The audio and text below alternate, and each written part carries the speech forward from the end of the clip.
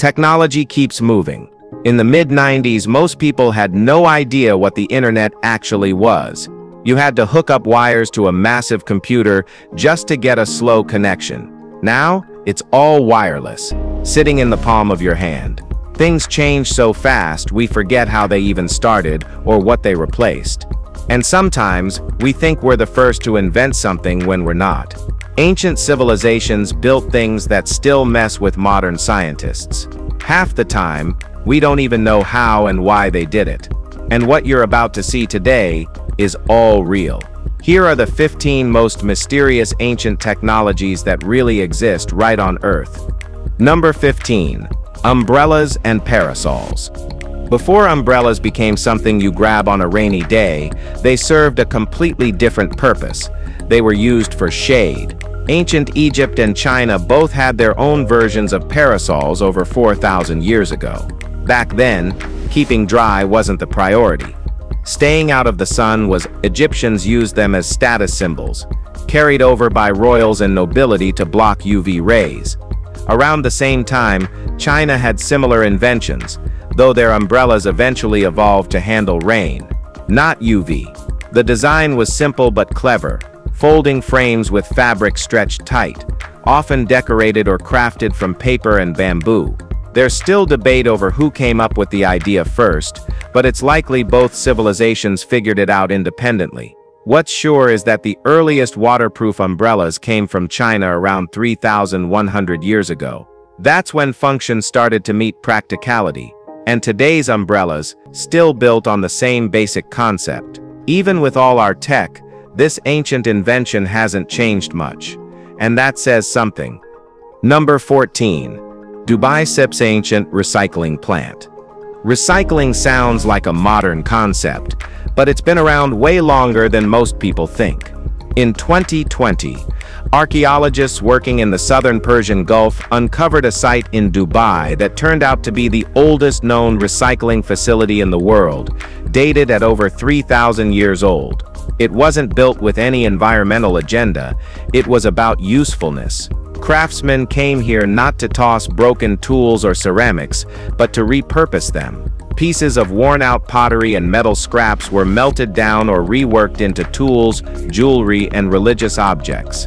And it wasn't a small-scale thing. They ran this like a full operation, with traces of smelting, shaping, and even decorative work. What still puzzles researchers is why they chose this spot. It's far from any major settlement and surrounded by nothing but desert. Yet they set up shop here and kept it going. Waste wasn't wasted. It had value. And clearly, they knew how to use every last piece. Number 13. Hydraulis of Dion. The hydraulis wasn't just an instrument.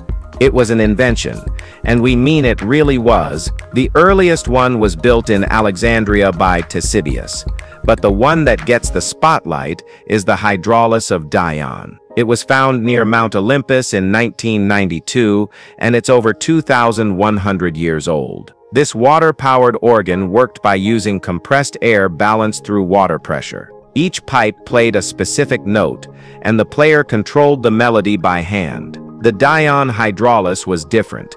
It had light touch keys and could be played more like a piano. 19 pipes follow the traditional ancient Greek music scale, and five others extend it, though experts, as always, still aren't sure how. The bottom part, the system that controlled airflow, is gone, but the rest is intact. What's crazy is how advanced it feels. This wasn't some novelty. This was high-level design, made to perform in temples, courts, and festivals. The sound it must have produced is long gone. But even silent, the hydraulis still makes noise in the world of ancient tech. Number 12. Lassithi Plateau Windmills. In the Lassithi Plateau of Crete, thousands of white-sailed windmills once spun to life, keeping farms alive through brutal seasons. This wasn't some tourist setup. These were tools for survival. Around 10,000 windmills once stood here, helping locals manage the land. The soil was rich, but the water table made it tough to farm. Flooding ruined crops, so they built windmills to drain water and spread it evenly across fields. These weren't modern steel giants, they were stone, canvas, and ingenuity. About 5,000 still stand. Most are silent now, worn down by time, but a few still do the job. They're proof that the people here figured out a way to work with nature, not against it. There was no electricity or high-tech Volvo machines, just wind, water, and stubborn will. These mills didn't just pump water, they helped entire generations stay fed. Well, you can call it engineering, or tradition, but either way, it worked just perfectly. Number 11. The Digesting Duck, France. Long before modern robots like Ameca or Sophia were built to assist, amuse, or impress us, there was this, the digesting duck. In 1739, a French inventor named Jacques de Vaucanson unveiled a mechanical duck that to the shock of the public seemed to eat, digest, and excrete grain just like a real bird. People fed it kernels, watched it waddle, and believed it was alive. But it was all a mechanical illusion. The grain went into one compartment, and preloaded waste came out of another. Still, for its time, it was groundbreaking. Vaucanson wasn't just showing off gears, he was playing with lifelike automation. The duck reportedly flapped its wings, quacked, and even mimicked drinking water. While much of the original design has been lost, records confirm that it was far more than a toy, it was a complex display of technical skill and imagination. Sadly, the original duck was destroyed in a fire in 1879. But its legacy didn't burn with it. It marked one of the earliest moments humans tried to recreate life using machines. Number 10. Fort Vauban and Castellum de Visum. Fort Vauban in France is listed as a UNESCO World Heritage Site and has officially been recognized as a historic monument by the French government since 1875. But the story behind this place started way before that. The fort was built by the Romans and still holds remains of structures they left behind. One of the most impressive is the Castellum Divisum. Calling it a water tank doesn't quite describe what it was. Water from an aqueduct flowed into it, and from there it spread across the city, reaching baths, fountains, and public buildings through a massive network of lead pipes. Every hole at the base once held a pipe, each one running for miles. It wasn't just plumbing, it was full-blown infrastructure. You don't need much imagination to see how far ahead of their time the Romans really were. This setup worked like clockwork, and the precision behind it still stuns modern engineers. The Castellum wasn't just practical, it was brilliant. Number 9. Shaduf. The shaduf is nothing more than a long wooden pole with a bucket at one end and a weight at the other, but it's lasted over 5,000 years for a reason. First built by the Mesopotamians, it became a go-to irrigation tool across Egypt, Crete, China, and more. It lifts water from one source and pours it where it's needed, fields, canals, or storage pits. It's simple, direct, and built to solve one problem, moving water. The design barely changed over time because it didn't need to. Even today, you'll still find it being used in parts of India, Pakistan, and rural Africa. In fact, there are farmers alive right now using the same method that their ancestors used thousands of years ago. It's not fancy. It doesn't need gears, motors, or metal. It's wood, rope, balance, and purpose. When a tool just works, there's no need to redesign it. That's the Shaduf, a perfect example of function over everything. So never change what you don't need to. Keep it as it is. Number 8. Belize Sisters 4, 000-year-old fish trap canals. Well, who doesn't love fishing? Especially when the fish basically trap themselves. Around 4,000 years ago, long before the Maya ever showed up, a group of pre-Maya hunter-gatherers in Belize built a network of canals and ponds across nearly 16 square miles. This wasn't some tiny side project. We're talking 167 trenches and 60 holding ponds, all carved by hand. The setup worked like a seasonal trap during floods. Fish swam in freely, but when the waters dried up, they were stuck. All locals had to do was show up with spears. No maize, no farming, just fresh fish on repeat. And it wasn't a one-off. Researchers think this system fed up to 15,000 people per year. What sparked it? A brutal drought between 2200 and 1900 BCE. Instead of starving or migrating, they adapted. The best part? Locals say these ponds still trap fish during the dry season. Four millennia later. That's not just smart engineering. That's generational thinking at its finest. Number 7. Circus Maximus. The Circus Maximus wasn't just a sports arena, it was Rome's largest stage for chaos, celebration, and sometimes tragedy. Built over 2,600 years ago, this massive chariot racing stadium could pack in over 150,000 people. It was the model for stadiums across the empire, but none matched its scale or atmosphere. Races were fast, brutal, and often deadly, but the crowd loved every second. One of the worst disasters in sports history happened here around 140 AD, when an upper section collapsed during an event, killing more than a thousand people. Despite that, the arena was rebuilt and kept going for centuries, hosting races, beast hunts, and festivals until the 6th century. The structure has changed a lot over time, but its bones are still there beneath modern Rome. Today it's a public park, sometimes used for concerts, but the ghosts of that ancient roar haven't faded. It wasn't about glory or gold, it was about spectacle, and no one did it bigger than Rome. What do you think about it? Well let us know. Now let's talk about number 6, Patara pipes. For a long time, historians gave the Romans credit for the underground pipes spread across ancient sites in Turkey. The Patara pipes forced everyone to rethink that. These pipes weren't built by the Romans. The Romans built around them, the style doesn't match their architecture, and even more telling, there's no record of them ever mentioning it. And the Romans, well, they loved writing about themselves. Imagine them like today's Holy and the Whole Stars. They detailed everything from roads to fountains, but said nothing about these pipes. So that silence matters.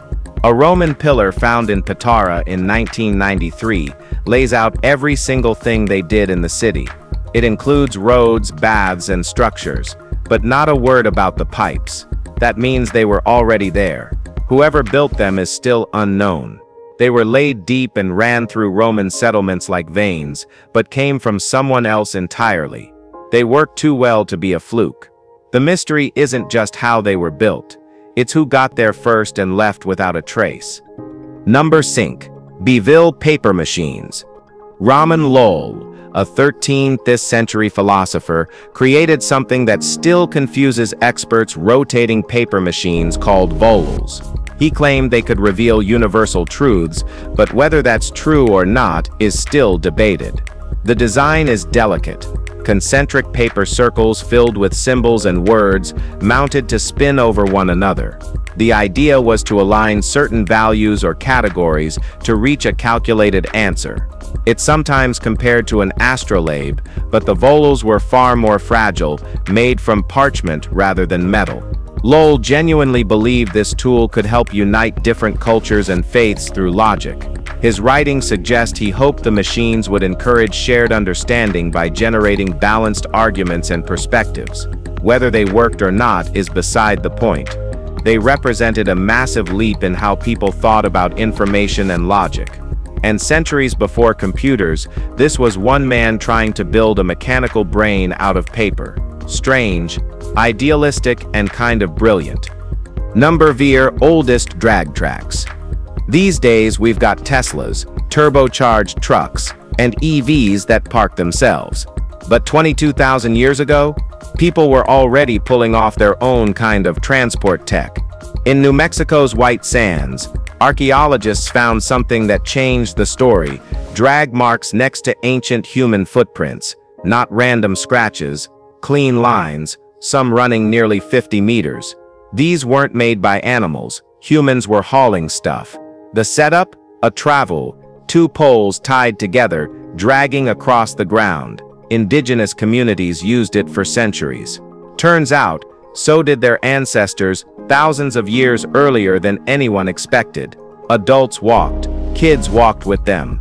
The drag marks followed beside, no wheels, no carts, just raw invention. Researchers even built their own travois and tested it on mud to match the tracks. It worked. This wasn't just movement, it was migration with strategy. Before roads, wagons, or riding, people were engineering their way forward, using nothing but wood, rope, and grit. This wasn't survival, it was planning. Number Dre. Gutenberg sits printing press. Johannes Gutenberg's invention didn't just launch printing, it rewired how knowledge spread across the world. But the press itself wasn't just one machine.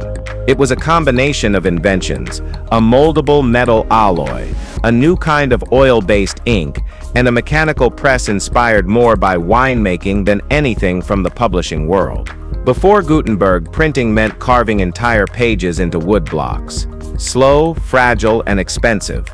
His version, faster, cleaner, and reusable. He didn't just cut time, he created the concept of mass communication. In its prime, Gutenberg's press could churn out thousands of pages a day. The world didn't just get books, it got newspapers, ideas, and revolutions. What made it so groundbreaking was how perfectly it all worked together. No part was flashy, but as a whole, it changed everything. And it didn't just appear out of nowhere, Gutenberg built it piece by piece, problem by problem. One man figured out how to make words permanent, and in doing so, he gave the world a new kind of voice. Number 2. Thousand Eye Bridge when Poyang Lake in China dried up during a 2014 drought, a ghost from the Ming dynasty came back into view.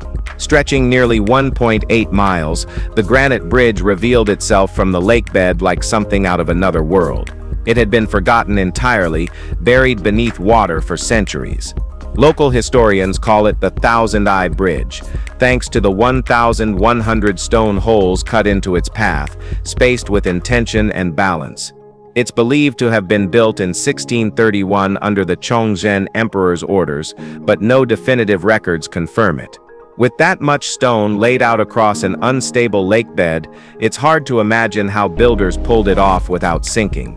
Even stranger, the lake has a history of vanishing ships and strange disappearances, earning comparisons to the Bermuda Triangle. Some believe the bridge became part of the myth, swallowed by legend as much as by water. Today it remains one of China's longest submerged bridges, resurfacing just long enough to raise more questions than answers.